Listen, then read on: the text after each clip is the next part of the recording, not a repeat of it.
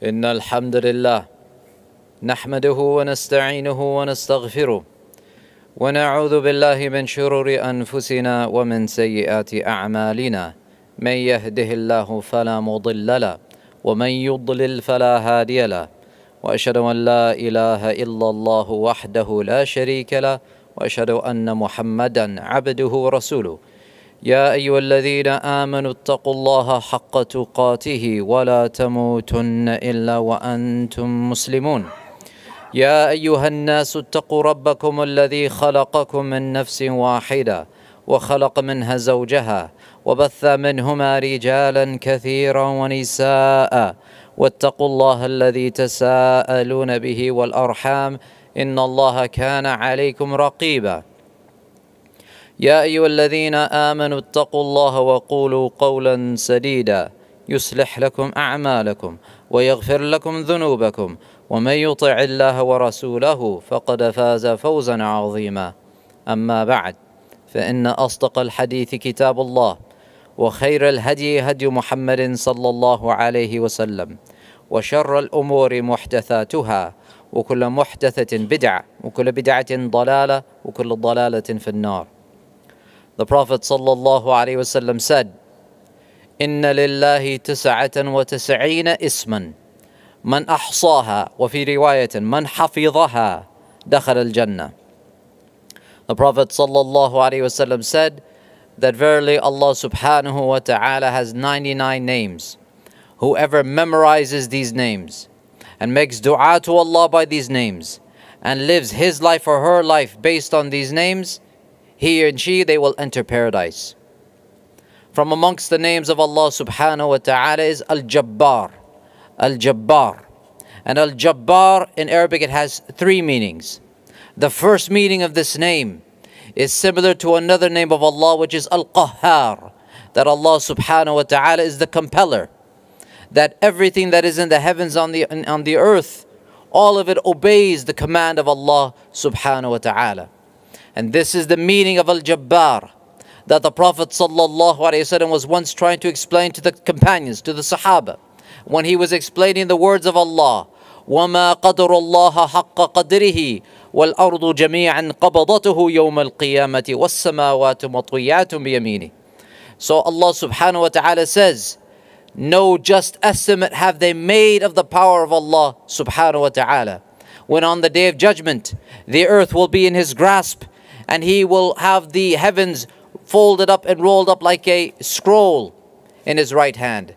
So the Prophet ﷺ was saying and explaining this verse, saying, يَأْخُذَ الْجَبَّارِ سَمَاوَاتِهِ وَأَرَضِيهِ يَوْمَ الْقِيَامَةِ That Al-Jabbar will take hold of the, the earth and the heavens on the day of judgment. And he was shaking his arms, trying to explain to the companions the power of Allah on that day and the anger of Al-Jabbar on that day. And he was shaking his arms to the point that the minbar was shaking. And one of the people in the audience, Abdullah bin Umar, he said, حتى نظرت إلى المنبر فيتحرك من أسفل شيء منه حتى إني لأقول أساقط هو برسول الله صلى الله عليه وسلم يعني the Prophet was shaking so much trying to explain the meaning of this name Al-Jabbar to the point that the minbar was shaking underneath him and Abdullah bin Umar he was looking saying is this minbar going to topple and make the Prophet fall along with it so one of the meanings of Al-Jabbar is that Allah is the compeller but there is another meaning as well the second meaning of Al-Jabbar is that He is the highest. And in this way, it is similar to another name of Allah, Al-Ali, that Allah is the highest, far above His creation. And this is why the Arabs, they call that tall palm tree that is too, hot, too tall, too high to climb, they call it Nakhlatun Jabbara.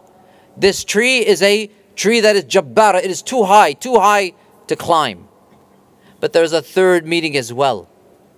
The third meaning of Al Jabbar is that Allah is the mender.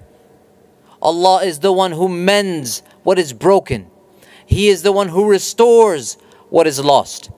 You know, when you break a bone, you break your arm, the doctor he will come and set the bone. He will put the bone back to back again in place. And then they take a splint In the old days, they would take a piece of wood or something firm and put it against the bone and then tie the splint against the bone. In Arabic, this splint is called jabira. Jabira. Because it compels the bones to stay in place. And so likewise Allah subhanahu wa ta'ala is called a jabbar because He is the one who restores what is lost. He mends the broken hearts. He is the one that when someone feels sad or depressed, He is the one who consoles and comforts. When one of us gets knocked down on his feet, Allah subhanahu wa ta'ala is the one who lifts him back up. And these three meanings of the name Al Jabbar were captured by the great scholar Ibn Al Qayyim, rahimahullah, in his poem The Nuniyah, when he wrote, وكذلك الجبار من أوصافه والجبر في أوصافه قسمان. جبر الضعيف وكل قلب قد غدا ذا كسرة فالجبر منه داني والثاني جبر القهر بالعز الذي لا ينبغي لسواه من إنسان. He said الجبر Likewise الجبار is from the attributes of Allah subhanahu wa ta'ala. And the jabr of Allah is of two types. The first type is jabr al-da'if, that Allah relieves the one who is weak. The one who is in a weak position, Allah gives him strength. The one who is poor, Allah makes him wealthy. The one who is sick, Allah gives him cure. وَكُلُّ قَلْبٍ قَدْ غَدَى ذَا كَسْرَ And every heart that becomes broken. فَالْجَبْرُ مِنْهُ دَانِي Then its mending is close at hand. Because Al-Jabbar subhanahu wa ta'ala, He is the one who mends those broken hearts. وَالثَّانِي And the second type of jabr is jabr bil-qahr. Is when Allah subhanahu wa ta'ala brings justice, His swift justice to those tyrants on the earth those tyrants who try to act like Al-Jabbar himself. And this type of uh, behavior, لا ينبغي لسواه من إنساني. It's not befitting for a human being to act like this. And this is why when we call Allah Al-Jabbar, this is a form of praise. But if we call a human being Jabbar, then this is a form of blame. Because to call a human being Jabbar means that this person is a tyrant. This person is tyrannical. This person is unjust. Because only Allah is all powerful and also all wise. Allah is the one who is mighty and also merciful. So He knows when to inflict, when to bring His power, when to show His power, when to bring justice.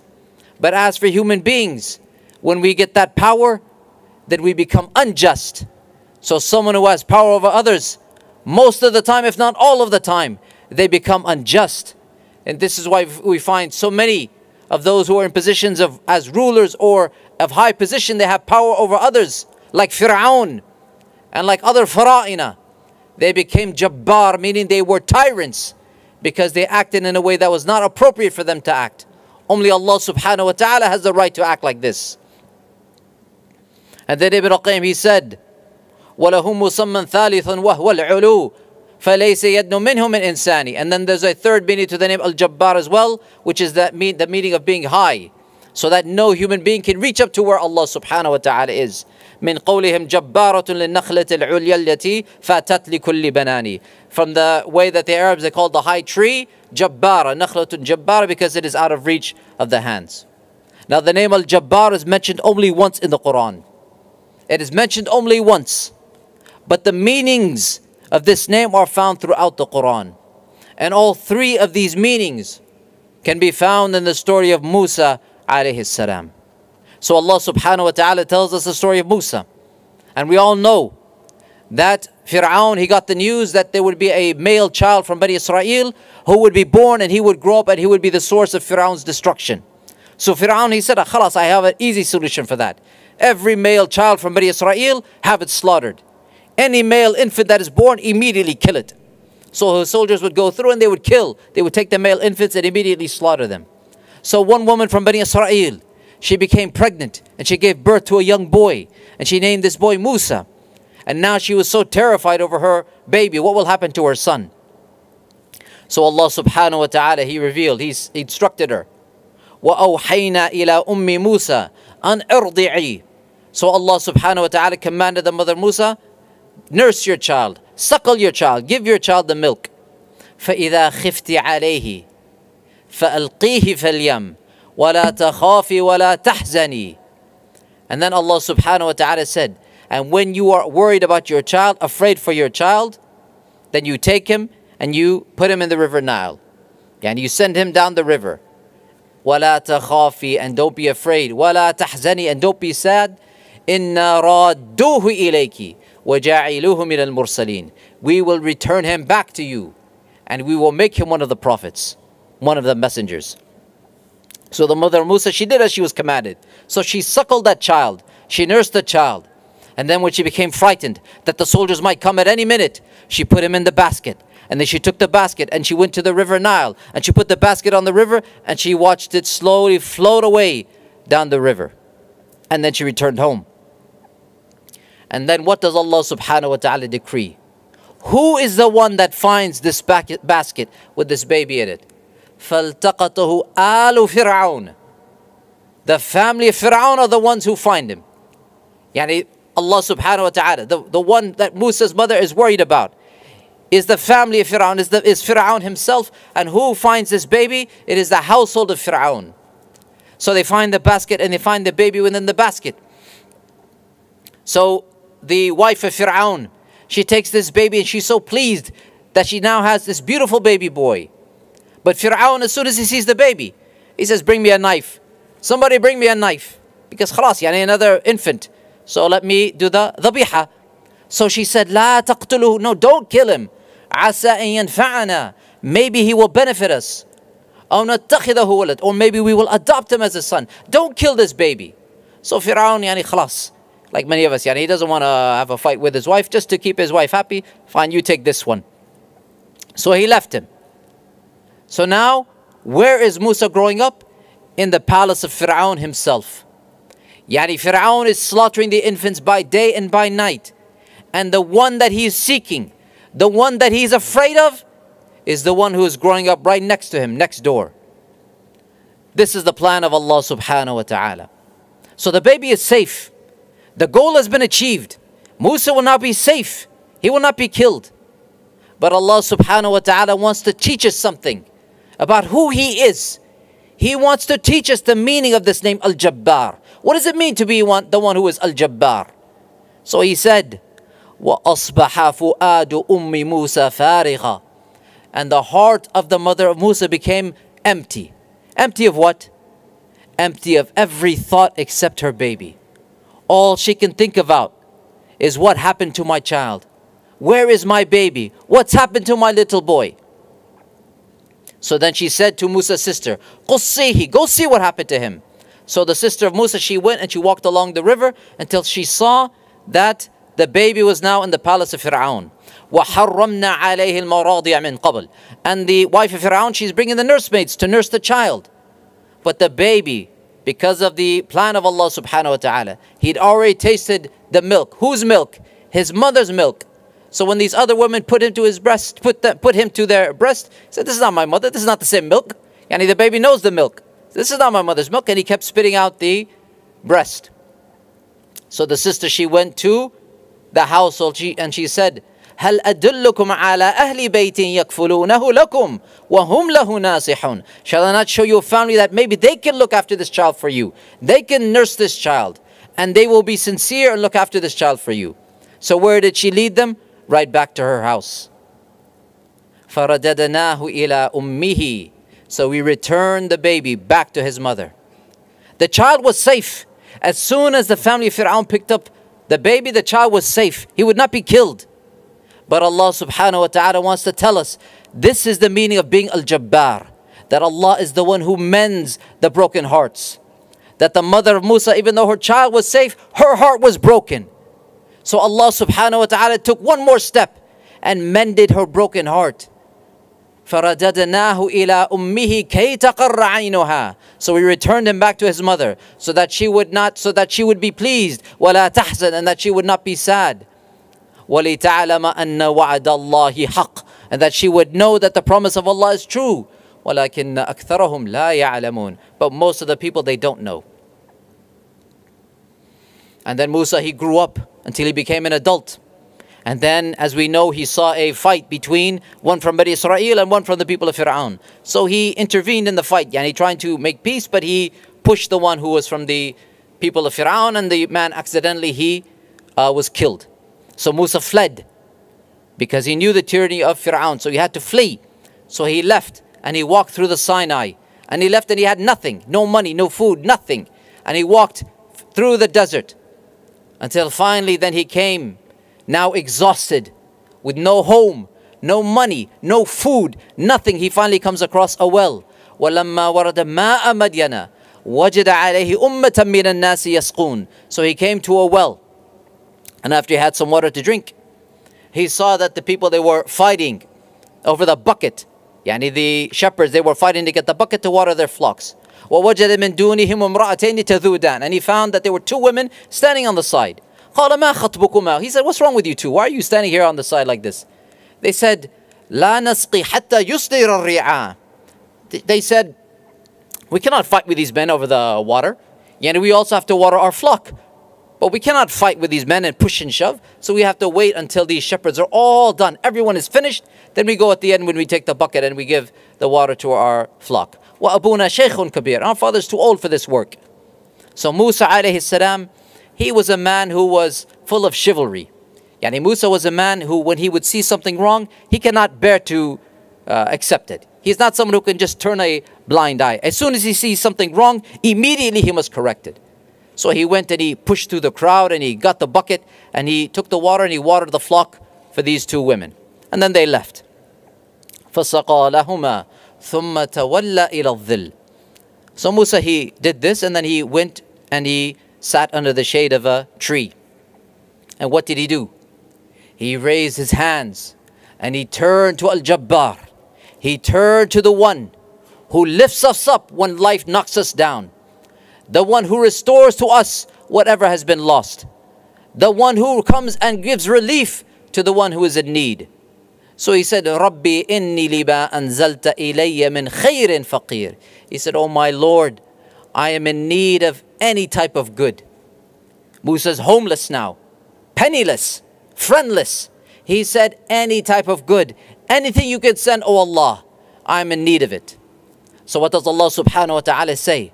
The very next verse, فَجَاءَتْ إِحْدَاهُمَا تَمْشِي عَلَى اسْتِحْيَاءٍ So one of those two women came to him, walking shyly. What does it mean walking shyly? The scholars of tafsir, they said, she came and she took her sleeve and she was covering her face with it.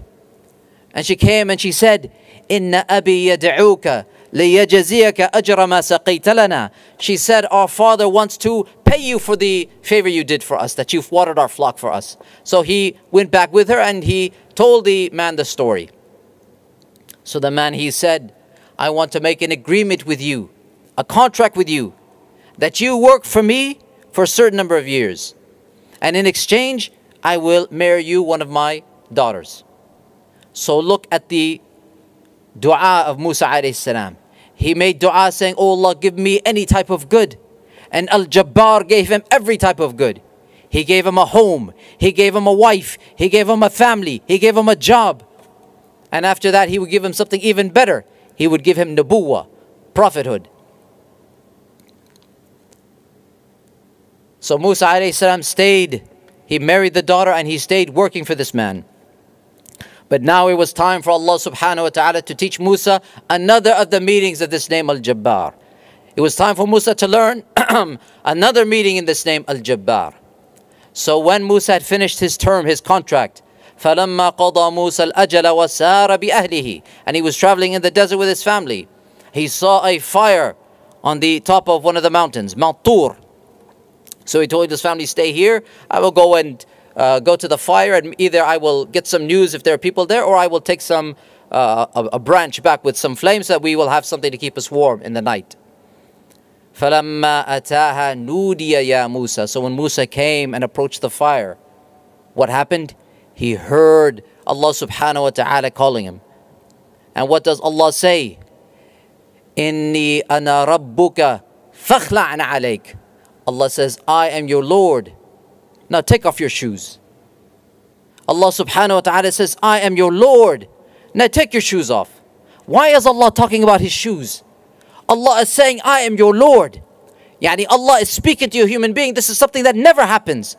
And the first thing Allah subhanahu wa ta'ala is telling him is, take your shoes off. Why? Because in order to acknowledge that Allah is the highest, we must make ourselves low. To really fully acknowledge that Allah is high, we must make ourselves low. So Allah subhanahu wa ta'ala is telling Musa, take your shoes off and be humble in the presence of your Lord. And this is why some of the righteous before us, when they would make tawaf around the Kaaba, they would take their shoes off and they would make it barefoot. Nowadays, khalas, yani we all make tawaf barefoot because there's marble on the floor. But in the old days, previously, it used to just be sand and stone. But even then, some of the righteous, they would walk, walk around the Kaaba on the hot sand, barefoot, to increase them in humility in the presence of the house of Allah subhanahu wa ta'ala. And likewise, this is why Allah subhanahu wa ta'ala, He orders us in the prayer. When we make sajda, what do we do? You know, the arrogant person we say in English, what? Yani his, this person, this guy, his nose is in the air. Yani the arrogant one makes his nose the highest point in his body. So Allah to make us humble, He says, take this nose that is high and put it in the lowest position, in the dirt, on the ground.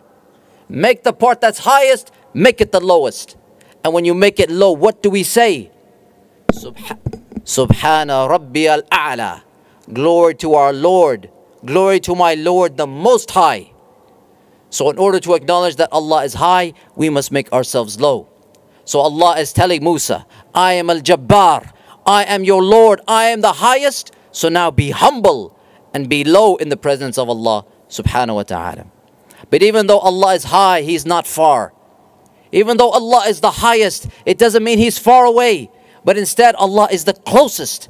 And this is why Allah subhanahu wa ta'ala, in another verse about the same incident, Allah says, وَقَرَّبْنَاهُ نَجِيًّا That we brought Musa close for a najiyya. Naja in Arabic, it means to have a private conversation. You know, when you are speaking to someone close to you, whispering to that person, this is a najwa in Arabic. So Allah subhanahu wa ta'ala said, we brought Musa close for a private conversation. And this is why the Prophet ﷺ, once when he was traveling with the companions, and it was their practice that when they would go any, any high place, when they would go up a mountain or a hill, they would say, Allahu Akbar, Allahu Akbar. And they were shouting it with such enthusiasm, such spirit, shouting it, Allahu Akbar. So the Prophet ﷺ, he said, Irba'u ala anfusikum. Take it easy on yourselves. Take it easy on yourselves. Be gentle with your souls. فإنكم لا تدعون أصم ولا غائبا because you're not calling on one who's deaf Allah is not deaf or absent ولكن تدعون سميعا بصيرا قريبا but you are calling on one who is all hearing all seeing close so you don't need to shout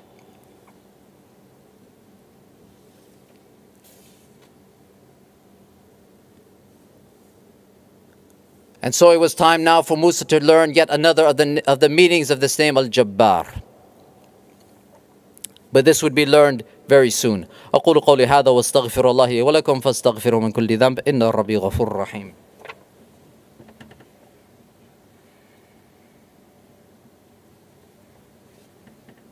بسم الله الرحمن الرحيم الحمد لله رب العالمين والصلاة والسلام على نبينا محمد وعلى آله وأصحابه أجمعين أما بعد So Allah subhanahu wa ta'ala gave Musa his, his mission to call Fir'aun and his people to Islam.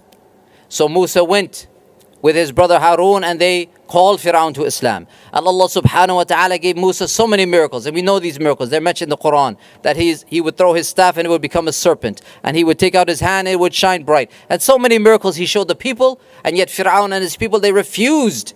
Out of their arrogance, they refused to believe except for just a handful, just a few.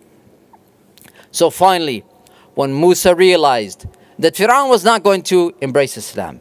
And Fir'aun, he, would, he knew the truth, but he would never obey it. He would never submit to it. Then Musa alayhi salam, he raised his hands yet again, making dua to Al-Jabbar yet again. But this time invoking him for the, a different meaning. Not for the one that would mend the broken hearts, but instead the one who would bring justice. That would bring justice to those who are madloom, who, are, who have been oppressed.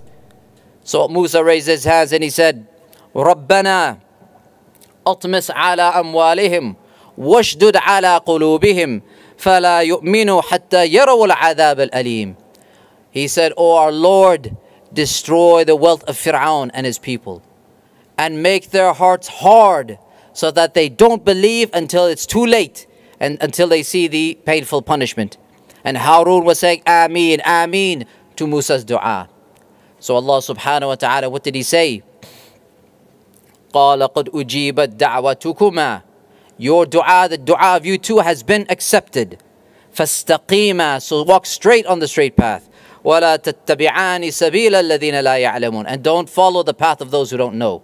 And then Allah subhanahu wa ta'ala revealed to Musa, فَأَسْرِ بِعِبَادِي لَيْلًا إِنَّكُمْ مُتَّبَعُونَ He told Musa, take Bani Israel and you escape at night because you will be followed by Fir'aun. So Musa and Bani Israel, they escaped during the night. And they headed towards the Holy Land, towards Asham. But in the morning, Fir'aun, he realized that he had been deceived. He gathered his army, they went in pursuit. So finally, when Musa and his people, they reached the sea. And now there is no road ahead of them. There's no way. There's only the ocean in front of them. And they look behind, and what do they see? Fir'aun and his army on their horses, galloping, riding as fast as they, as they can behind them. فَلَمَّا تَرَاءَ الْجَمْعَانِ قَالَ أَصْحَابُ مُوسَى إِنَّا لَمُدْرَكُونَ So when the two sides could see each other, the companions of Musa, they said, Inna la mudrakun. And you could see from the way Allah describes their words, they didn't have any doubt. They said, We are caught. Inna harf tawkid la mudrakun lama tawkid. Yeah, there's have no doubt. We are caught. We are finished. But with the same certainty that they had in defeat, Musa had the same certainty in victory. قال كلا إن معي ربي سيهدين Musa said, No, my Lord is with me. He will guide me. فأوحينا إلى موسى أن اضرب بعصاك البحر So Allah revealed to Musa, take your staff and strike the sea with it. So Musa did as he was commanded. And what happened? فانفلقا فكان كل فرق كالطود العظيم So the sea split. And now the water were like two mountains of water reaching up to the sky. And now the road is clear in front of them. So Musa and Bani Israel quickly they went across until they went and they reached the other side. And when the last of Bani Israel had gotten across, Musa went back to the water with his staff to strike the sea again so that the sea would be a barrier between him and Fir'aun. But Allah gave another command. Allah told Musa, وَاتْرُكِ الْبَحْرَ rahwan." He said, leave the sea as it is. Leave the ocean as it is. Innahum jundu مُغْرَقٌ They are an, they are an army that will be drowned. So Musa stood by the sea with his staff, waiting for the command of Allah. And when Fir'aun and his army reached the coast, and they saw now the miracle again, another miracle, the water standing straight, and the road is clear in front of them. Even then, they did not believe. So, in their arrogance and in their pride, they went across to pursue Bani Israel. And so they went one after the other into the onto the road. And as they went and they were approaching the other side, then Allah subhanahu, Allah subhanahu wa ta'ala gave the command, now strike the sea. So, so Musa struck the sea with his staff and they were drowned. وأنجينا موسى ومن معه أجمعين ثم أغرقنا الآخرين So Allah subhanahu wa ta'ala saved Musa and those with him and he destroyed Fir'aun and his army. When the Prophet sallallahu alaihi wasallam made hijrah to Al-Madinah, he found the Jews in Al-Madinah, they were fasting the 10th of Muharram. So he said, what is this day that you fast? They said, this is the day that Allah subhanahu wa ta'ala saved Bani Israel from Fir'aun. And so Musa fasted this day out of thanks to Allah subhanahu wa ta'ala. And we also fast this day to commemorate this day that Allah saved Musa and Bani Israel. So the Prophet sallallahu alaihi wasallam he said, نحن أحق وأولى من موسى بي موسى منكم he said we are closer and more worthy of Musa than you so he ordered the Muslims to also fast the 10th of Muharram and to uh, to commemorate this day and then afterwards he ordered the Muslims to fast not only the 10th but also the 9th so that we be different from the Jews the 10th of Muharram is Monday next week Monday next week is the 10th so we should in following with the sunnah of our Prophet ﷺ, fast both the 9th, which is Sunday, and also the 10th, which is Yawm al-Ashura. This day on which Allah subhanahu wa ta'ala taught us the meanings of His name Al-Jabbar. That He is the highest, that He is the one who mends the broken hearts, and He is the one who brings swift justice to those who disobey Him. So we ask Allah subhanahu wa ta'ala to accept from us our good deeds. We ask Allah subhanahu wa ta'ala to make it easy for us to fast on the day of Ashura and every other day. إن الله وملائكته يصلون على النبي يا أيها الذين آمنوا صلوا عليه وسلموا تسليما اللهم صل وسلم وبارك على نبينا محمد وعلى آله وأصحابه أجمعين اللهم أعز الإسلام والمسلمين اللهم أعز الإسلام والمسلمين اللهم أعز الإسلام والمسلمين ودمر أعداء الدين وانصر عبادك الموحدين ربنا آتنا في الدنيا حسنة وفي الآخرة حسنة وقنا عذاب النار. آمين. وآخر دعوانا أن الحمد لله رب العالمين. قم الصلاة.